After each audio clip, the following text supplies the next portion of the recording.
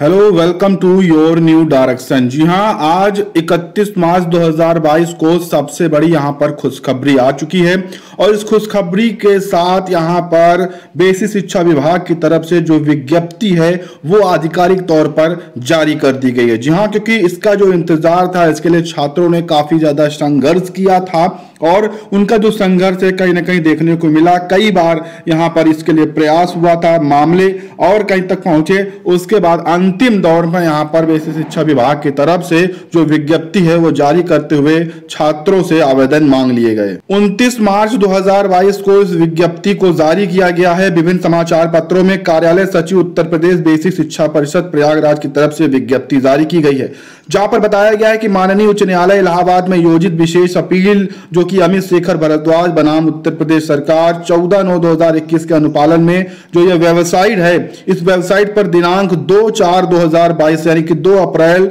से आप दोपहर से चार अप्रैल 2022 तक ऑनलाइन आवेदन आमंत्रित किए जा रहे हैं। जिसके जो दिशा निर्देश हैं, वो आप इस आधिकारिक वेबसाइट पर देख पाएँगे। ये जो मामला है, ये अड़सठ